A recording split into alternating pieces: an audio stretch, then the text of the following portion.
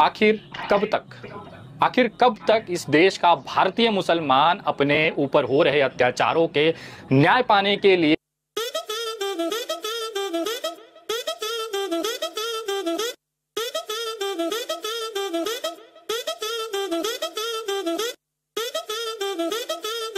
welcome to all my subscriber to your boy Zaid Rashidi channel so guys finally एक video लाया हूँ विनय दुबे जी की जिन्होंने जिसमें उन्होंने बताया कि हम एज अ मुस्लिम हम लोग क्या क्या सह रहे हैं इंडिया में रह के, हम लोगों के ऊपर किस तरीके की चीज़ें हो ही हो रही है। हम लोग मतलब आप समझ नहीं सकते कि हम लोगों के ऊपर क्या बीत रहा है। तो उन्होंने एक वीडियो बनाया है स्पेशली मुस्लिम्स जो इंडिया में रहते उन लोगों के ऊपर। और उसमें उन्होंने बताया कि हम लोग कितनी चीज़ों से सह रहे हैं बीजेपी के खिलाफ। जो जो बीजेपी के नेता हमारे साथ कर रहे हैं या ये जो बाबा लोग हमारे नबी की शान में गुस्ताखी कर रहे हैं, जो भी वगैरह वगैरह। तो पहले हम लोग उस वीडियो को देखते हैं और देखते हैं कि हम लोग कुछ लास्ट में कुछ ओपिनियन रख सकते हैं या नहीं रख सकते। तो चलो शुरू करते हैं आज का वीडियो।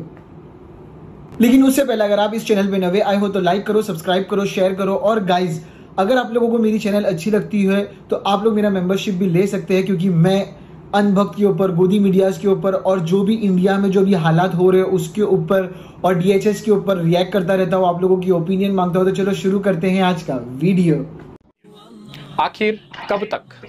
आखिर कब तक इस देश का भारतीय मुसलमान अपने ऊपर हो रहे अत्याचारों के न्याय पाने के लिए, अपनी बच्चियों के खींचे हुए हिजाब को बचाने के लिए, अपने लोगों को दूसरे कारण बता के गलत कारण बताकर मॉब लिंचिंग में हत्या करने के बाद, अपने घरों पर चलते हुए बुलडोजर देखने के बाद, आखिर कब तक इस देश का मुसलमान किसी राजनीतिक दल के नेता के चौखट पर जाकर अपना माथा रगड़ेगा और भीख माँगता दिखाई देगा? ये सवाल आपको चुप ज़रूर रहे होंगे, लेकिन ये वास्तविकता है इस देश की, वो हकीकत है, जिस पर कोई बात नहीं करना चाहता। आज मैं देखो, सही बात है कि इस बारे में कोई गोदी मीडिया या कोई भी चीज़ में हमारे पर जो हो रहा है, इसके बारे में कोई बात नहीं करना चाहता। गोदी मीडिया आपको कुछ नहीं दिखाएगा। कुछ कुछ मीडिया वाले हैं, लेकिन जो यूट्यूब पे मिलेंगे आपको इनकी तरह ये है, अभिसार शर्मा है, ये लोग हमारे हमारे ऊपर जो जुलूम हो रहा है, वो बताते तो गाइस प्लीज़ ये वीडियो को लास्ट तक ज़रूर देखना। अभी ये बहुत कुछ बताने वाले हैं तो मैं वापस स्टार्ट करता हूँ वीडियो को। सवाल पूछना चाहता हूँ मेरे भारत के उन मुसलमान भाइयों से, क्या आपका जमीर आपका आत्मसम्मान आपको चीख चीख कर नहीं पुकारता? क्या आप वही हैं जिसके वंशजों ने पूरे विश्व के अंदर कितने ही देशों पर, कितने ही सदियों तक 200 साल 500 साल 800 साल तक राज किया? जिनकी तरवाले जब उठती थी तो पूरे विश्व के अंदर एक सन्नाटा छा जाता था। आज उन्हीं के वंशजों को मैं देखता हूँ, एकदम दयनीय में, हाथ में कटोरा लेकर अपने ऊपर दया की, नेताओं के सामने भीख मांगते हुए कहा गया वो इंसान जो मर्द मुजाहिद कहा जाता था।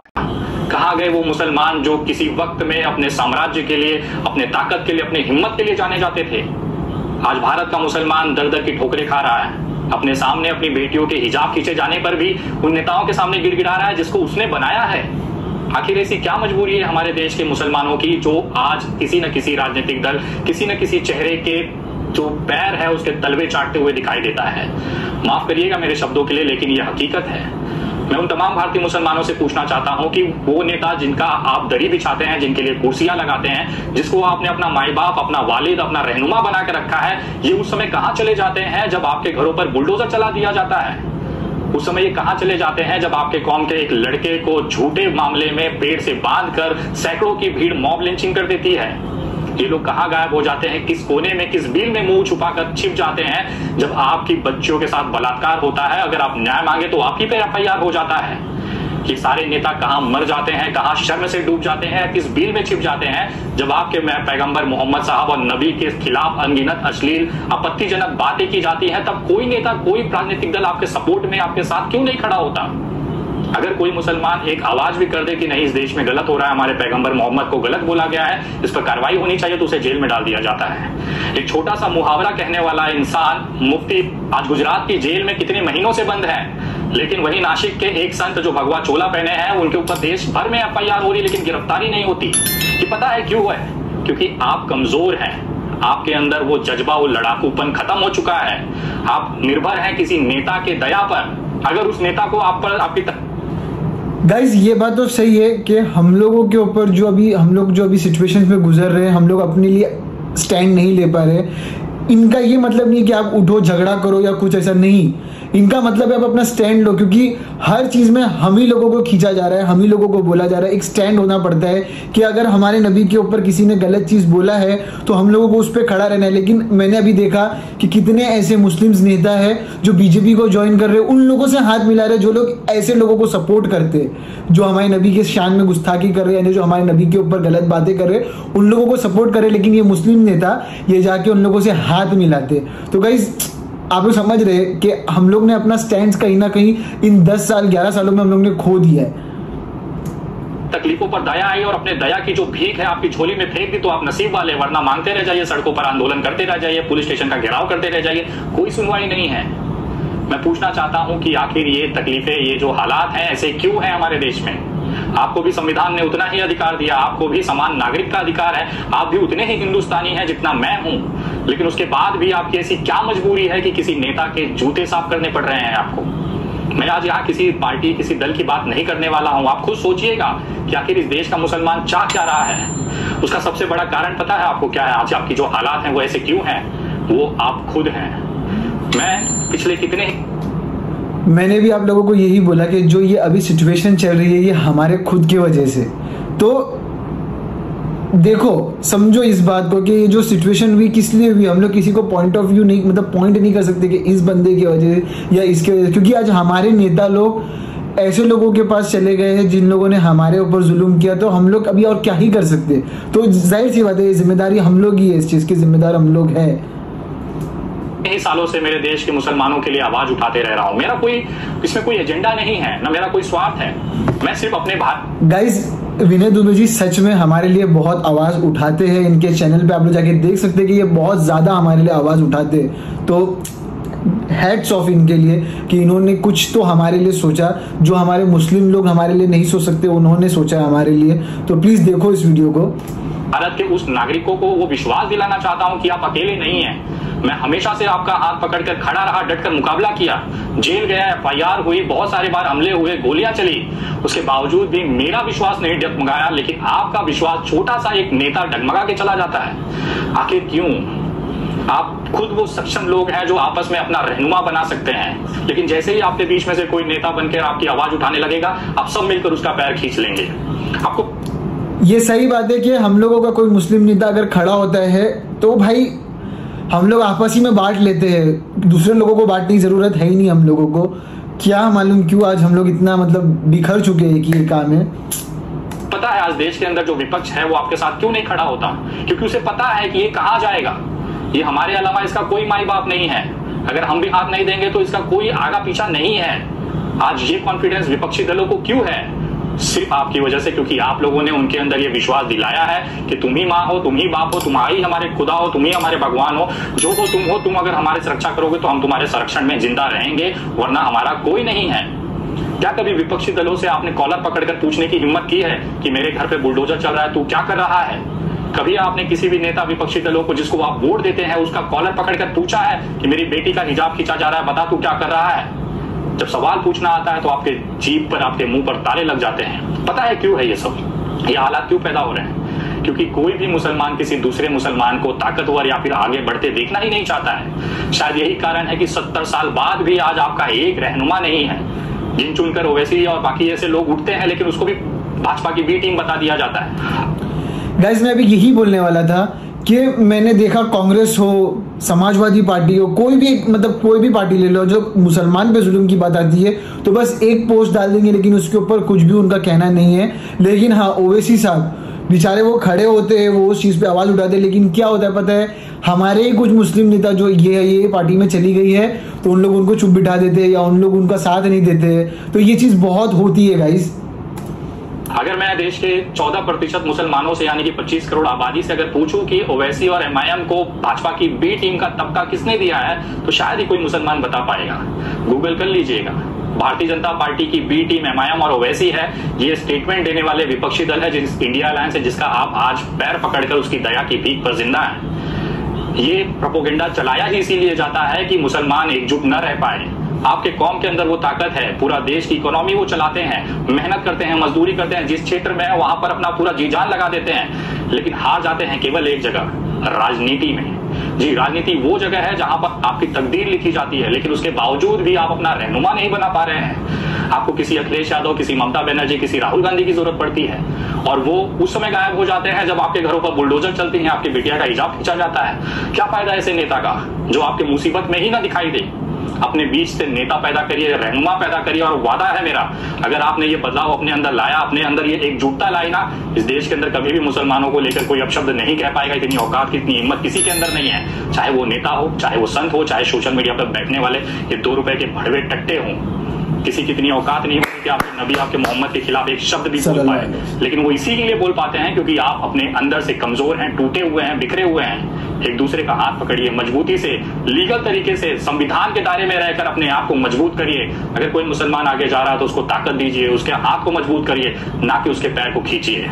लेकिन इस पूरी दुनिया के अंदर अगर आप सबसे बड़ी चीज़ देखेंगे तो आप खुद अपने खुदा से दूर हो चुके हैं। अगर मैं आज पूछूँ कि कितने लोग ऐसे हैं जो पाँच वक्त की नमाज़ पढ़ते हैं तो बहुत गिने चुने चुनिंदा हाथ ऊपर उठेंगे कि हम पाँच वक्त के नमाजी हैं, बाकी सब लोग बाहर हैं। जिस खुदा ने, जिस ऊपर वाले ने आपको पूरी दुनिया दी, पूरी ताकत दिया आपको अच्छा परिवार दिया रहन सहन दिया, निवाला दिया पेड़ दिया, ऑक्सीजन दिया, आकाश दिया, धरती दिया, उसका एक शुक्रिया अदा करने का आपके पास वक्त नहीं है। एक शुक्रान की नमाज़ होती है, शुक्रिया की नमाज़ होती है, वो आज तक बहुत कम मुसलमान को पता होगा कि इस तरह की नमाज़ में शुक्रिया भी देखो गाइस एक हिंदू इंसान आप लोगों को शुक्राना की नमाज़ पढ़ने की भी दावत दे रहा है और हकीकत में जो हमारी मस्जिदों को तोड़ा जा रहा है, जो भी ये हो रहा है, क्यों? क्योंकि हम हमारी मस्जिद में जा ही नहीं रहे। आज का यूथ जो मुस्लिम यूथ है, वो मॉडल बन रहा है।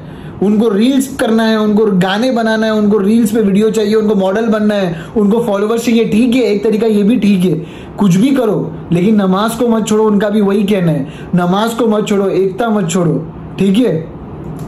भी अदा किया जाता है उस ऊपर वाले का जिसने ये ज़िंदगी दी, ये सारा सब कुछ उसी का दिया है। मैं पूछना चाहता हूँ, कभी आपने गौर किया है? मैं एक ब्राह्मण हिंदू हूँ, लेकिन मुझे ये पता है कि अपने भगवान को खाने के एक निवाले से पहले हाथ जोड़कर थाली में हाथ जोड़कर उनको प्रणाम करके धन्यवाद दिया जाता है कि, हे प्रभु, तूने आज ये अन्य मेरे पेट में निवाला बन के भेजा है, उसके लिए तेरा लाख लाख शुक्रिया। लेकिन कितने मुसलमान ऐसे हैं जो अपने नबी, अपने मोहम्मद, अपने अल्लाह को धन्यवाद कहते हैं कि तूने ये ज़िंदगी दी, ये निवाला दिया। आप नमाज़ से दूर होते जा रहे हैं, आप दीन से दूर होते जा रहे हैं और यही कारण है आपकी बर्बादी का। आज जब मैं नाइट क्लबों में जाता हूँ तो पता है वहाँ पे साठ प्रतिशत मुस्लिम लड़के आते हैं लड़कियाँ आती हैं पार्टी करने और वो दारू पी रहे देखियो अब भी मैंने आपको बोला कि मतलब हम लोग तो सिर्फ़ मॉडल बनना है हमको एक अच्छा कपड़ा चाहिए हमको सच्चाई नहीं देखना हमको कुछ नहीं देखना है बस हमको कपड़ा पहनना है हमको रील्स बनाना है हमको ये करना है हमको वो करना है हम लोग आज इसी में बर्बाद है इस जिस दारू को इस्लाम में कुरान में हराम बताया गया है उसकी नई जनरेशन आज अपने आप को पार्टी और दारू पीने में अपने आप को गौरवान्वित महसूस करता है। हाथ में दारू का ग्लास शरीर के अंदर दारू, उसके बाद आप कहते हैं कि नहीं, हम मुसलमान हैं। जिसका ईमान ही नहीं बचा, जिसको कुरान पर विश्वास नहीं, जिसको अपने अल्लाह के बताए हुए रास्ते पर विश्वास नहीं, वो किस तरह का मुसलमान है भाई? आपके सामने एक भूखा मर रहा होता है, कोई तकलीफ़ नहीं, आगे बढ़ जाते हैं। आपका पड़ोसी भूखा रह जाता है, कोई तकलीफ़ नहीं, आगे बढ़ जाते हैं। आपका भाई, अपना सगा भाई तकलीफ़ में है, उसके साथ नहीं खड़े होते। तो ये सारी चीज़ें ऊपर वाला आपको अजाब के तौर पर भेज रहा है। आज देश भर में विश्व भर में जो मुसलमानों की हालत है, ये मुसलमान द्वारा खुद बनाई गई है। आप जब अपने अल्लाह से दूर होंगे, अपने नमाज़ से दूर होंगे, अपने दीन से दूर होंगे, अपने अंदर बताए हुए कुरान के उन तमाम तरीकों से दूर होंगे तो ऊपर वाला तो बदला लेगा ही। आज गाजा की हालत देख लीजिए, तमाम विश्व के अंदर चाइना की हालत देख लीजिए, मुसलमान कत्लेआम किया जा रहा है। उसका कहीं ना कहीं कारण आप खुद हैं। जिस दिन आप अपने अंदर ये चीज़ें नहीं महसूस कर पाएँगे, तब तक ये बदलाव हो ही नहीं सकता। आपको कोई भी नेता जूते से मार के चला जाएगा, आप कुछ नहीं कर पाएँगे। पहले आप अपना दीन और अपना ईमान मज़बूत करिए। उसके बाद अपने पार्टी, अपने लोग, अपने नेताओं को आप खड़ा करिए, उन्हें मज़बूत करिए। चाहे किसी भी दल से हो, हमारे बीच का नेता हमारा होना चाहिए, उसको आगे बढ़ाइए। तब कहीं जाकर आप लोग एक गाइस यहाँ पे दल का मतलब है सुन्नी हो, चौबीस हो, शिया हो अहले हदीस हो मीन्स कुछ भी हो, लेकिन वो मुस्लिम होना चाहिए। आज तो हम लोग ने अपने आप लोगों को अपने आप को बांट दिया कि नहीं बनता ये तो शिया है। नहीं भाई, ये तो हिंदी है, क्या? चौबीस है। नहीं भाई, ये तो सुन्नी है, ये ये ये मत करो। हम लोगों को अल्लाह ने मुस्लिम बनाया हुआ है। कुरान में जहाँ कुरान में जो भी आयतें मुसलमान के ऊपर बनी है, उसमें कहीं पर भी सुन्नी चौबीस शिया नहीं लिखा गया। उसमें मुस्लिमा लिखा गया है, मुसलमान लिखा गया तो प्लीज़ ये चीज़ को भी थोड़ा देखो। मज़बूत स्थिति में भारत के अंदर आएँगे। अन्यथा अगला 20 साल 50 साल तो मैं अंधेरे में ही देख रहा हूँ कि भारत के जो मुसलमान हैं, वो या तो राहुल गांधी के दया की भीख पर पलेंगे या अखिलेश यादव की भीख पे पलेंगे। लेकिन ये दोनों ही नेता उस समय नहीं दिखाई देते जब आपको सही में ज़रूरत होती। जब बुलडोजर चलता है, जब रेप होता है, जब ट्रेन में लोगों को मारा जाता है बीफ के नाम पे मतलब कहीं पर भी ये लोग कहीं नहीं दिखते। आप लोग देख सकते हैं इनका इंस्टाग्राम इनका सब कुछ, इनका कोई भी स्टोरी हमारे लिए नहीं थी गाइस है। तो नेता अपने बीच का पैदा करिए, अपने लोगों के बीच का करिए, ताकि आपके मुसीबत में आपके साथ खड़ा रह सके। मैं ये बातें इसलिए कह रहा हूँ क्योंकि मैं लगातार देश के अंदर देख रहा हूँ, मेरे जो मुसलमान भाई हैं उनका आत्मविश्वास टूटता जा रहा है। उनको अभी लगने लग गया है कि हमारे साथ यही गुना लिखा हुआ है। हम कुछ नहीं बदलाव कर सकते। अरे एक छोटी सी चिंगारी, एक क्रांति पैदा करिए अपने लोगों के बीच। हाथ पकड़िए तो सही एक दूसरे का। देखिए बदलाव कैसे नहीं आता।